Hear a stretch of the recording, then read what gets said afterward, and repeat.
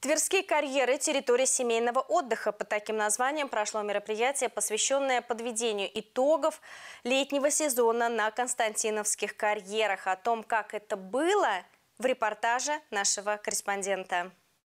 Константиновские карьеры уже давно стали излюбленным местом отдыха горожан. Конечно, особой популярностью это место пользуется в жаркое летнее время. Участие в благоустройстве этой территории принимали общественники, предприниматели и депутаты всех уровней.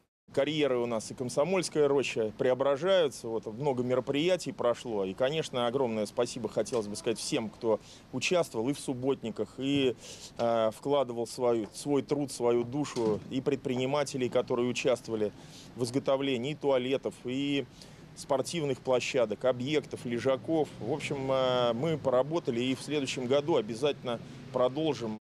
На территории карьеров этим летом действительно прошло много мероприятий. Субботники, гонки на лодках-драконах, чемпионат по сапсерфингу. А в июле здесь установили долгожданный санузел, где есть вода, свет, вентиляция, пандус и предназначенный для мам с малышами персональный столик. К слову, с на Константиновских карьерах хорошо знаком советник президента РФ Владимир Васильев. Политик уверен, что в объединении горожан есть огромный потенциал, способный решить целый пласт задач. Мы провели, на мой взгляд, очень плодотворную встречу на рельсах, где было там более 10 столов. И на каждом столе тоже около 10 экспертов.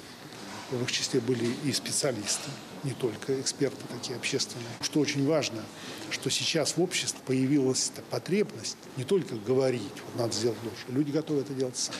И действительно, благоустройство карьеров объединило большое количество неравнодушных горожан. Карьера и Комсомольская роща – это два таких исторических замечательных места, где горожане привыкли отдыхать и погулять с детьми, и покататься на лыжах, на велосипедах. Одно время эти места были ну, немножко запущены, да, и благодаря вот такой обще... благодаря общественникам, в том числе депутатам, эти места преображаются. Их расчищают, их благоустраивают. И я думаю, что это вновь будут такие наиболее интересные, востребованные места отдыха. Если говорить о дальнейшем благоустройстве, то многие эксперты сошлись во мнении, что зона отдыха должна быть круглогодичной. На берегу предложили расположить кафе, кемпинг, мини-гостиницы, а также улучшить инфраструктуру. По словам советника президента, важно, чтобы все преобразования не вредили экологии.